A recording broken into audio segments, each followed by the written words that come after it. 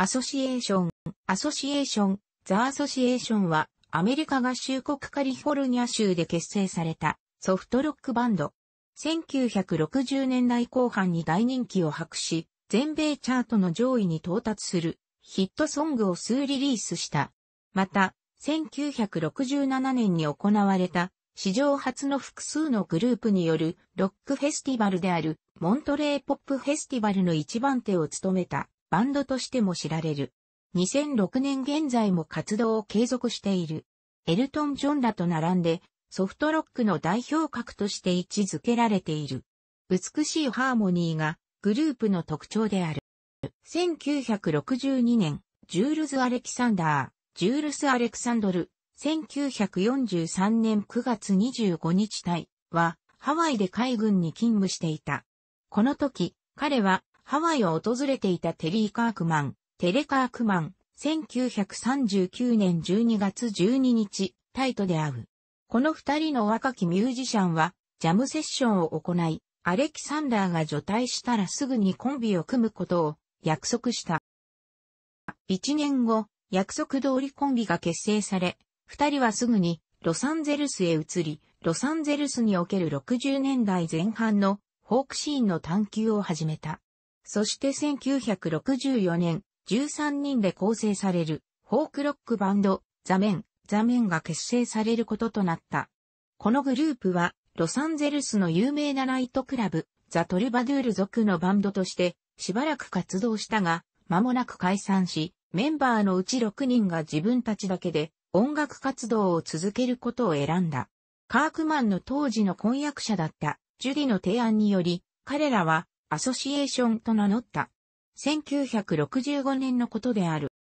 オリジナルメンバーは、ボーカルとリードギターのアレキサンダー。最初の二つのアルバムでは、ゲイリー・アレキサンダー・ゲアリー・アレクサンドルと記載された、ボーカル及び様々な管楽器を担当する、カークマン、ボーカルとベース担当のブライアン・コール、ブライアン・コール、1942年9月9日から1972年8月2日、ボーカルパーカッション及びギター担当のラスギグアー、ラスギグエレ、1943年10月18日対、ドラムスとボーカルのテッド・ブルーシェル、テッド・ブルーチェル、ジュニア、1942年12月2日対、及びギターボーカルのボブ・ページ、ボッブ・ページであった。ページがメンバーにいた期間は短く、間もなく代わりとして、ボーカルギター及びキーボード担当のジム・イエスター、ジム・ジェスター、1939年11月24日隊が加入した。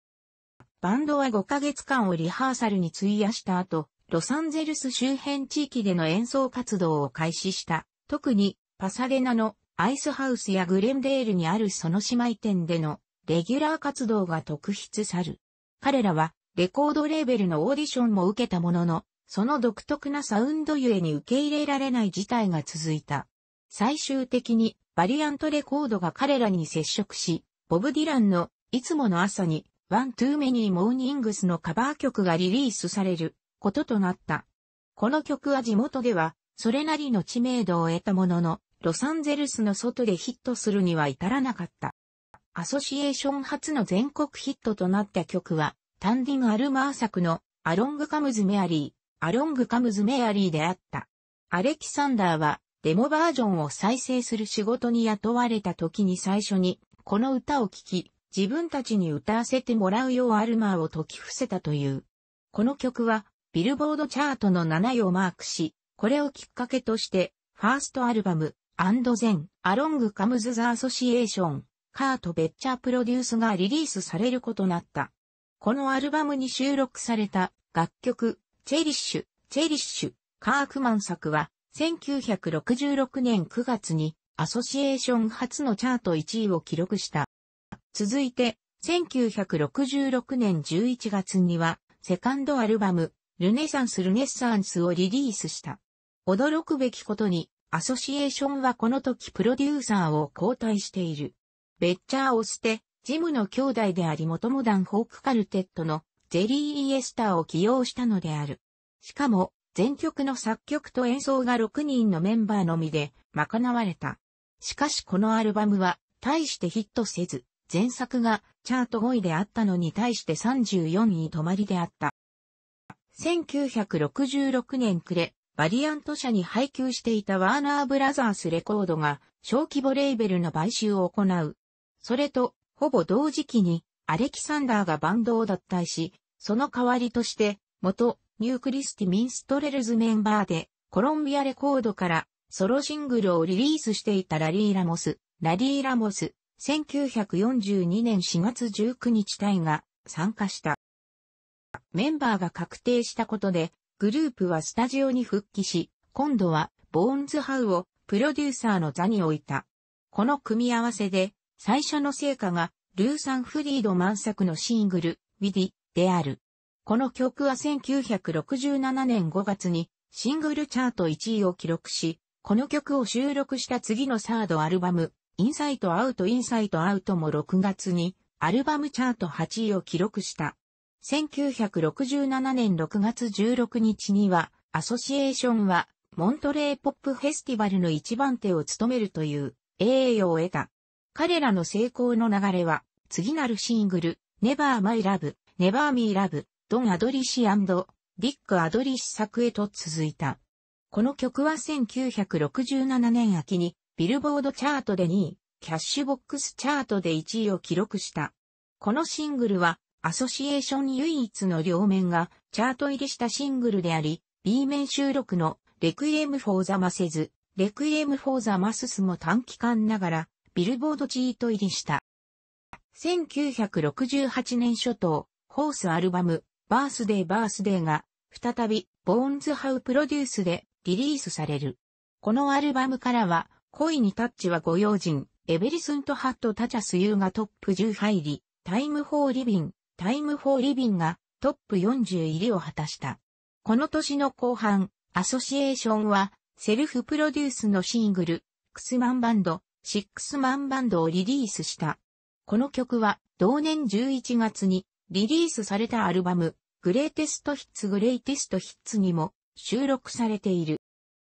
1969年初頭、ジュールズ・アレキサンダーがグループに復帰。ラリー・ラモスはそのままメンバーに残ったため、アソシエーションは7人編成となった。それに合わせて、 Six Man Band のタイトルと歌詞を修正したという。7人編成となって、最初の仕事は、フィリップ・ロスのベストセラー小説を映画化した、さよなら、コロンバス、 Goodbye, Columbus のサウンドトラック用音楽であった。イエスター作のタイトル曲はチャート80位までしか上がらず、現在では不吉な兆候であったと回想される。このサウンドトラックでは、1970年代から1980年代にかけて最も重要なレコードプロデューサーと呼ばれることとなる、ジョン・ボイランがプロデューサーを務め、続くアルバム、アソシエーション・ The Association でもその地位にあった。当然のことながら、収録曲の多くはカントリーロック風の曲となった。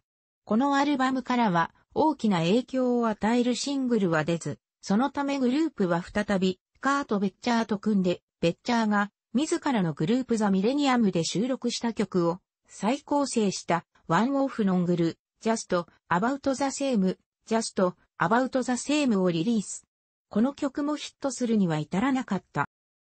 これらの不振とは裏腹に、バンドはなおも有名なコンサートの呼び物であり、1970年初頭には、ソルトレークシティで行われた公演が、アソシエーションライブザ・アソシエーションライブとして収録された。その後間もなく、ラスギグアがバンドを脱退。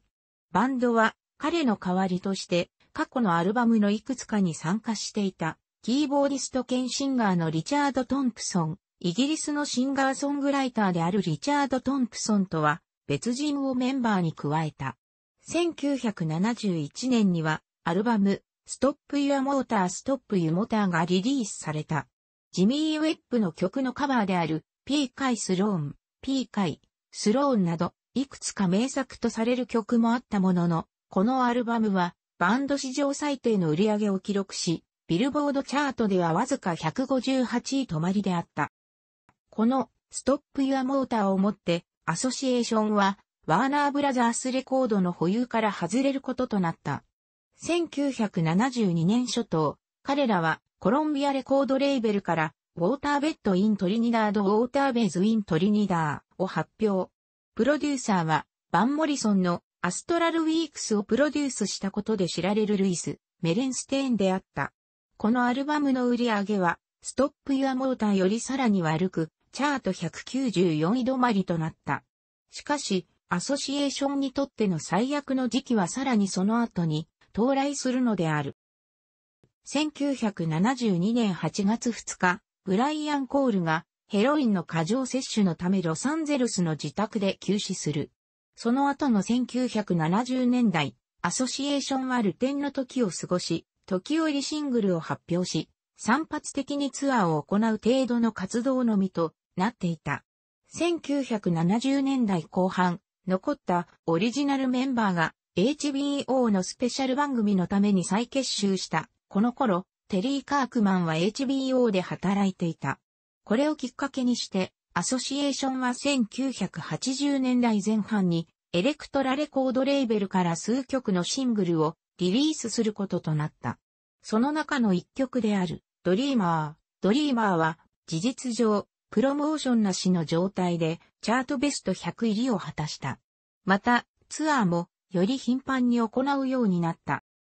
現在、アソシエーションのメンバーはラス・ギグアーとラリー・ラモスを含む初期メンバーに加えてラモスの兄弟である、デル、デル・ラモス、ボーカルとベース、ブルース・ピクター、ブルース・ピクター、ドラムス、ボブ・ワーナー、ボップ・ベルナー、ギター、そしてブライアンの息子、ジョーダン・コール、ヨルダン・コール、キーボードとボーカルから構成される。アソシエーションは、現在も年間70日ほどツアーを行っている。2003年、アソシエーションは、ボーカルグループ名誉の殿堂、ボッカルグループホールオブフェーム入りを果たした。